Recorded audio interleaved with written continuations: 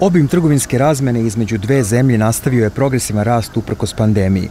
Zabeležen je rast od 33%, što je 2 milijarde dolara, a nastavlja se ka daljem zajedničkom cilju od 5 milijardi. Naše kompanije imaju oko 50 projekata u Srbiji u vrednosti od 847 miliona dolara i ovom prilikom ja bih želeo da zahvalim mom dragom prijatelju Vučiću za podršku koju je on pružio našim izvođačima i preduzetnicima u svoje ime i u ime mog naroda.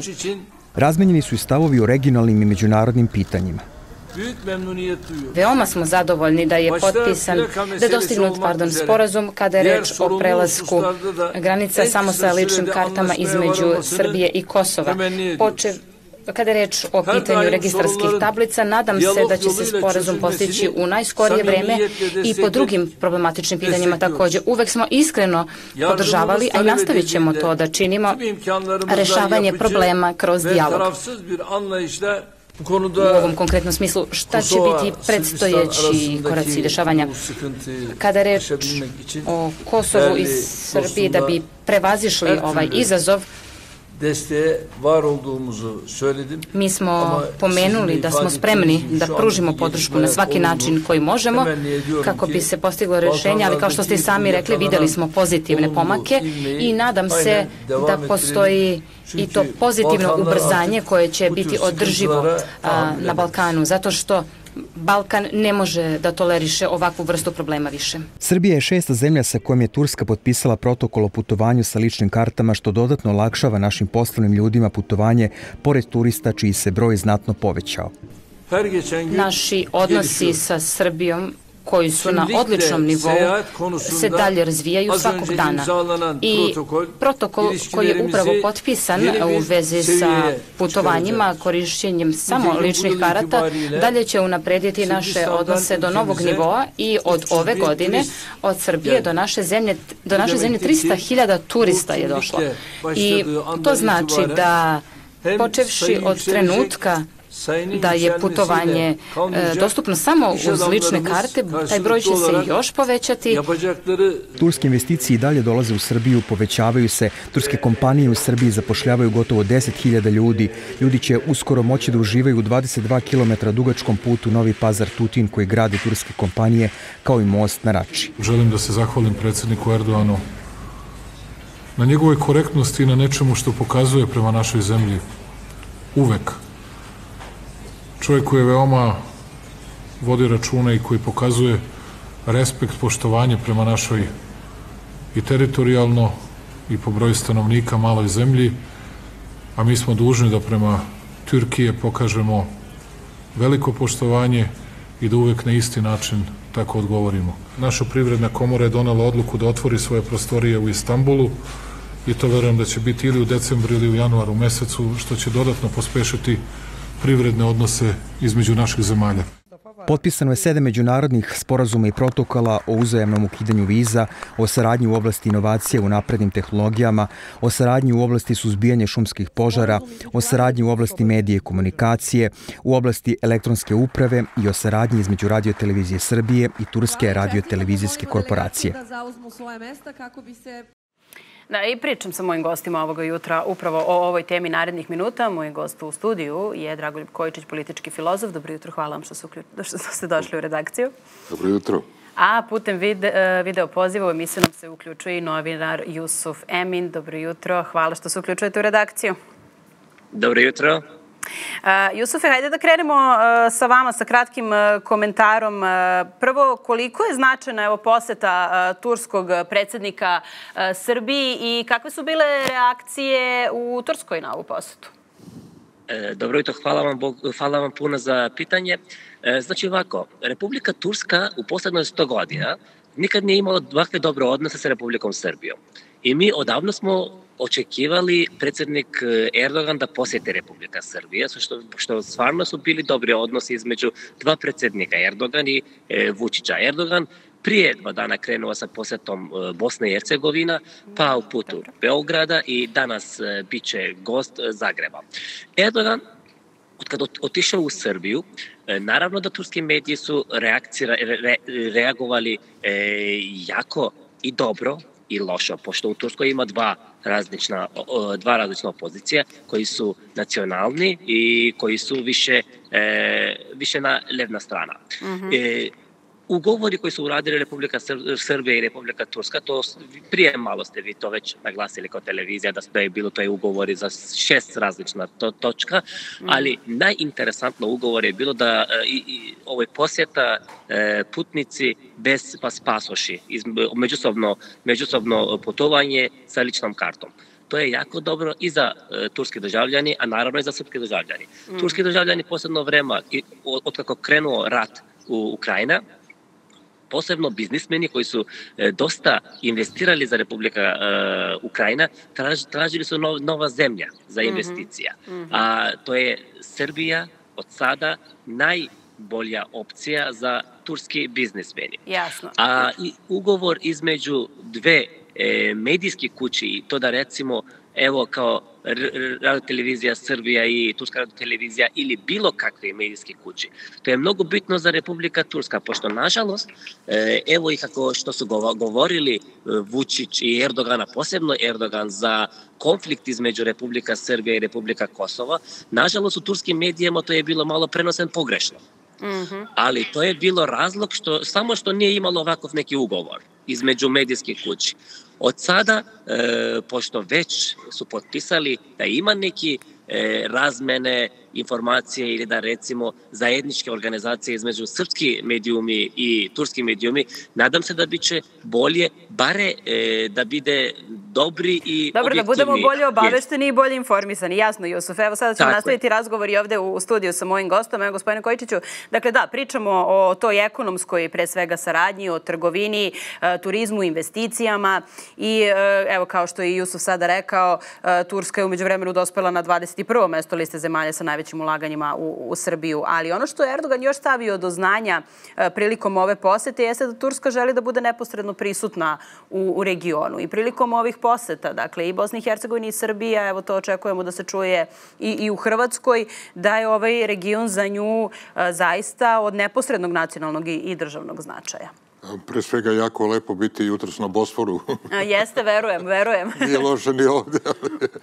da. Međutim, e, Tursku treba posmatrati iz jednog veoma kompleksnog ugla, zato što je to e, zemlja koja je doživjela E, radikalne transformacije tokom čitavih stotinu godina imala je sinusoide, međutim ona je sada, rekao bih, e, među zemljama koje su najprosperitetnije u svetu. Dakle, ne samo da je ona regionalna vele sila, nego ona očigledno postaje veoma uvaženi politički činilac koji utiče na svetske događaje i koji pritom zauzima ono što je za mene veoma bitno autonomni stav. Dakle, e, iako članica NATO-a, ona vodi neku vrstu, da kažem, samostalne politike E, to je izuzetno važno. E, takođe, iako je ona, naravno, e, pre svega po religijskoj osnovi privržena i Prištini, naravno i, i Sarajevu, ali ona sa nama ima izvanredne odnose koji su prosto kulminirali u odnosima između Vučića i predsednika Erdogana. Dakle, sve to, e, sve to pokazuje, e, rekao bih, e, prosto jednu apsolutno istorijsku i političku posebnost Turske. Da, ako je sad poredite sa zemljama koje se ponašaju u okviru stereotipa kako su navikli zadnjih 50 ili 100 godina, kako ko, recimo, kao Velika Britanija, Amerika, Nemačka, Turska pokazuje jednu fleksibilnost e, koja predstavlja dobar temelj upravo za njenu budućnost. I e, sad kad kažete ekonomija, ekonomija je samo u stvari jedan segment velike političke moći Turske i ja mislim da je na upravo toj vrsti ekonomskog patriotizma Turska sebi i zgradila predispozicije da može da ostvari ovakve razmere svoga uticaja i svoga značaja o, o kojima sam pričao. Sad, sa stanovišta Srbije, naši interesi za dobre odnose sa Turskom su više struki. Mm -hmm. Naravno, oni jesu ekonomski. E, eto, koliko je, e, gotovo dve, dve i po hiljade, dva, dva, i po, dve i po milijarde evra je ukupna vrednost naše razmene koja je više nego duplirana u zadnje vreme, a boga mi prema projekcijama i to projekcijama koje je izneo upravo predsednik Erdogan, ona bi takođe mogla da bude duplirana vrlo brzo, dakle to je takozvani eksponencijalni rast. Znači... Uprkos ovoj uh, krizi koja se dešava, dakle i uprko svemu što je ovaj negde rusko-ukrajinski sukob uh, izazvao, zapravo evo ovakvi odnosi i tekako mogu doneti uh, benefite na nekom drugom planu. Pa evo, ja sad, sad jedan najpraktičniji da, da kažem, znači prvo imali smo taj turski tok, dakle kad je u pitanju do tog gasa, ali to je, rekao bih, e, jedna vrsta rizične putanje, zato što može da se dogodi da bude prekinuto e, zbog e, strategije ruske energetske politike, zbog sankcija kojim se nanose. Ali ima sad upravo ovo. Za nas je struja veoma bitna, pogotovo ako bude neka vrsta deficita isporuke gasa, nama je potrebno više struje. Azerbejdžan je nama prijateljska zemlja, veoma prijateljska zemlja i e, Azerbejdžan bi preko Turske upravo mogao da nam e, dodatne isporuke struje obezbedi ove zime. Tako da onda, pazite, to su vrlo pipljivi efekti. Evo isto što je gospodin Jusuf rekao, koliko, deset, deset hiljada ljudi je zaposleno u kompanijama u koje su investirali turski privrednici. Ali sve to, sve to zajedno, da kažem, za nas ovako jedna, kako to kažu englezi, big picture, izvanredna slika za razumevanje odnosa sa Turskom. Tako je. I evo da uključimo još jednom u razgovor Jusufa. Dakle, ono što se još pričalo u toku jučerašnjeg dana jesu i priče o vojnoj saradnji. Evo imali smo priliku da čujemo da je Vučić najavio kupovinu bespilotne letelice Barjaktar u Turske, što očekuje da se dogodi već sledeće godine. Kada na sto stavimo i priču o vojnoj saradnji, da li možda ima nekakvih drugačijih ili neočekivanih odjeka na, na ovu posetu? Nažalost, e, da ima, pošto prije malo što sam ja rekao, to je vrlo, vrlo ozbiljno i vrlo dobro za između dva zemalja, Republika Turska i Republika Srbija, ali to treba da se razumijemo. Republika Srbija i Republika Turska nisu imali ovakve dobre odnosi e, do prije deset godina. I, na, i kad vidite e, i od medijumska strana i od e, građani e, koji su više nacionalisti ili više koji su e, i, i, koji imaju друге мислење за република за, за, за односе измеѓу Турска и Република Србија нормално да е било таму нека негативна реакција од е, Mm -hmm. Синоч, откад, откад кренуо председник Ердоган, е, то да преча да биче измеѓу е, две е, војске групе уговор. Mm -hmm. Али, кад видимо, углавном, turske medije i kad vidimo da, je, da, da su ljudi ovde više e, znaju što kako treba i da je Republika Srbija jedan od najglavna i najvažna država u Balkanu, e, a u Turskoj žive skoro 30 milioni Balkanci, to kad mhm. vidimo to su, oni su 7 milioni iz Republika Srbije, Bosna, e, Crna Gora, ima iz Makedonije, ima iz Bugarska, e, ima iz Albanije, ima iz Grčka i e, potpuno naravno da turska politika e, ide preko oni Balkanci koji žive u Republikoj Turskoj. Jasno. Hvala Jusufe mnogo na ovom uključenju. Kao što je rekao gospodin Kojičić, verujemo da je lepo biti tu na, na Bosforu ovoga jutra. I evo da zaključimo razgovor ovde u, u studiju e, sa vama kada e, sam rekla sada ovo da je Erdogan stavio do znanja da Turska želi da bude prisutna u ovom regionu. Jedno od ključnih pitanja, pre svega za nas, ali naravno i za države koje žele da daju neki doprinos na ovim prostorima, jeste pitanje Kosova i Metohije. I to je nešto što je trenutno, ma zapravo decenijama unazad, vrlo, vrlo aktuelno, ali evo sada smo čuli od Erdogana da on pruža određenu vrstu podrške u vezi sa pitanjem Kosova i Metohije i rekao je da Balkan ne može da toleriše ovakvu vrstu problema više. Kako tumačite ove reči? Pre svega, svaka mudra politika se e, zasniva na mogućnostima pravljenja kompromisa. Mm -hmm.